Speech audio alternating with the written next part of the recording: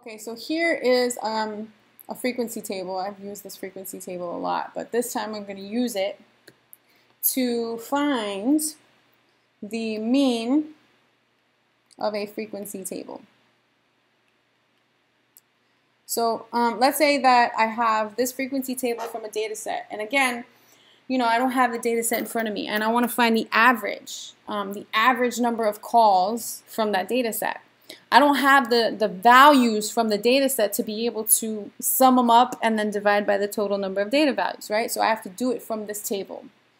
So how do I find the mean of a frequency table? So, well, let's think about this. Um, I talked about this earlier. If I, you know, if I want to represent this class, I have no idea, you know, what these numbers are, how many data values, or what these data values are within this class. I don't know if, you know, they represent 28 or 29 or anything in between these two or, or inclusive of these two uh, values. I don't know what these 13 data values exactly are. I just know what range they're within. So, you know, what did we say would represent the class as well? We said that the class midpoints would be a representative of these classes.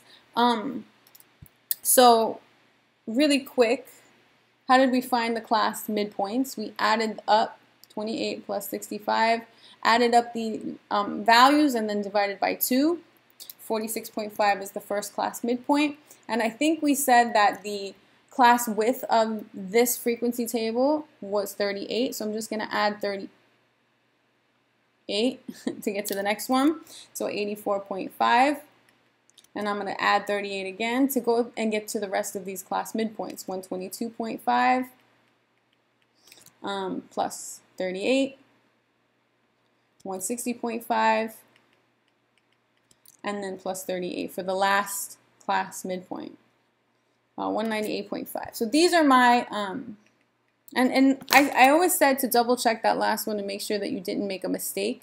So I would do like 180 plus 217 divided by 2 to double check and make sure that, you know, all the stuff makes sense and goes along together. So these are my class midpoints. Now, I want you guys to think about, um, I'm going to take away this. I'm going to represent these with x's. So these are going to be x's, my data values, okay? Um, now, if you if you think about this, right, when you're adding up a bunch of numbers, if I take the number 3 and I add it three or four times, that's the same thing as saying 3 times 4. If I take the number 3 and I add it two times, it's the same thing as saying 3 times 2. So I'm going to use that. Uh, I'm, I'm saying that 46.5 represents this class, and there's two values in that class. So 46.5 is going to get multiplied by 2, because really what I want to do is say 46.5 plus 46.5. So I'm going to do that for each of these. Um, 13 values are represented by 84.5. Um, 10 values are represented by 122.5. Three values are represented by 160.5 and three values are represented by 198.5. So in a sense, I am kind of adding up the values, but I'm using multiplication to make it faster. Ah, multiplication rules. Uh, so 2 times 46.5, let's just write these out. 93. Um, so this is 93. So 13 times 84.5. Pretty soon I'm going to start using my TI-84. Uh, 1098.5. Oops. I don't want that line. Okay. 1098.5. Um, go back, go back, go back. Okay. Oh, I don't need the calculator for this one. 10 times 122.5 is 1225. Move the decimal place one place to the right. 3 times 160.5, 481.5, and then 3 times 198.5 is 595.5. Okay, so what did I do? So I took, these are representing my data values. I took each of them, and remember that frequency we represent as small f2. I took each of them and I multiplied them by their corresponding frequency. So I did f times x. That's what this column represents, right? Um, now, remember that to take a mean, what you want to do is add up all the values, right? So 93 represents 46.5 plus 46.5. 1098.5 represents 84.5 plus 84.5, blah, blah, blah, 13 times. 120, uh, 1,228, uh, 1,225 represents 122.5 added 10 times and so on and so forth. And what I want to do is add all these up so that I get the sum, right, of all the um, data values. So let's, let's add that up. So let's see what I get. I get 93 plus 1098.5 plus 1225 plus 481.5 plus 595. I don't want to make a mistake here, 0.5. And I get, that's why I'm 3493.5. 3493.5.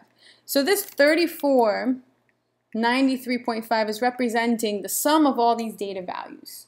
And I found that by taking the sum of all of these products. Okay, now I'm working notation because I'm going to create the formula for this. So, so far, I want to find a sample mean because it's a mean from a frequency table. Uh, frequency table could be sample uh, from a sample. And what did I do? To represent the sum of all the values, I had to take the sum of the products of each frequency times the corresponding midpoint. So x represents the class midpoint of each class, right? And then F represents, let me use a different color, F represents the frequencies, right? And then what do I have to do at the end? You know, I want to divide by the total number of data values in the data set. So what would represent the total number of data values in the data set? So hopefully you remember that the sum of the frequency column will give you the total number of data values in the data set. If I add up all these, there's 31 data values in the data set.